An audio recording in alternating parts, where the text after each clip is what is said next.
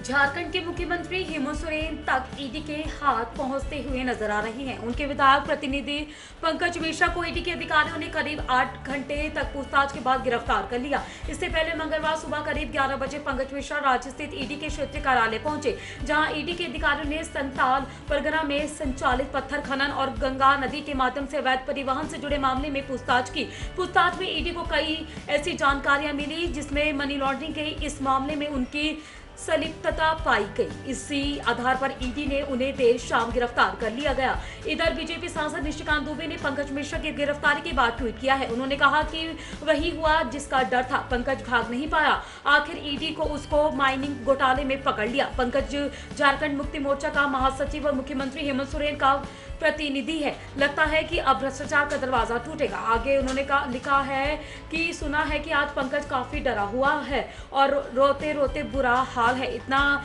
भी क्या कष्ट है जो बच्चों की तरह क्यों रो रहे हैं? सब कुछ सही बता तो और चिंता मुक्त हो जाओ। फ़िलहाल अब पंकज की गिरफ्तारी के बाद एक बार फिर से सीएम हेमंत के दरवाजों तक जाँच की आँच पहुँचती हुई दिख रही है।